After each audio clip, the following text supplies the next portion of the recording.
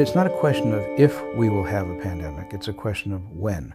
The odds that something like that happens increases to the extent that we are not prepared, that we do not increase our ability to find every case as soon as it jumps from an animal to a human, that we are not able to respond quickly by whatever means we have at the time. We won't have a vaccine or an antiviral on the first few days of a pandemic. So what we have to respond with is good public health. We have to be able to do isolation, social distancing, containment, messaging, all of those things. It is unlikely that that first case is going to take place in New York City or Chicago. It is likely that it will take place in a poor country at the periphery of the country, far away from the capital. That's what happened with Ebola, a perfect storm. The first cases took place at the border of three post conflict, impoverished countries that didn't have a very good public health infrastructure. And they started asking WHO to send in teams and to send in resources. It was right around the time of the World Health Assembly, which takes place in May.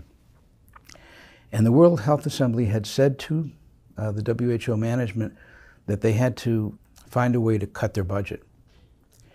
And unfortunately, the budget part that they cut was pandemic prevention, infectious disease control, and immediate response to outbreaks.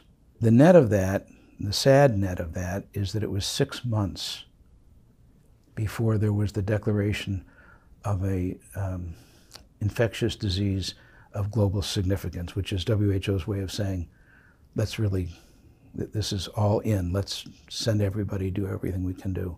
We were on a trajectory to, to reach hundreds of thousands of cases, and CDC actually estimated that we were on a trajectory to reach over 1 million cases.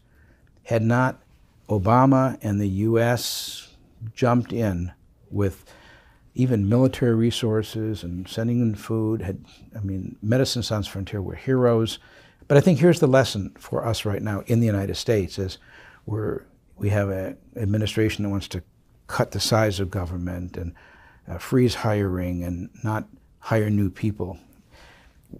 We have to staff up for a pandemic prevention.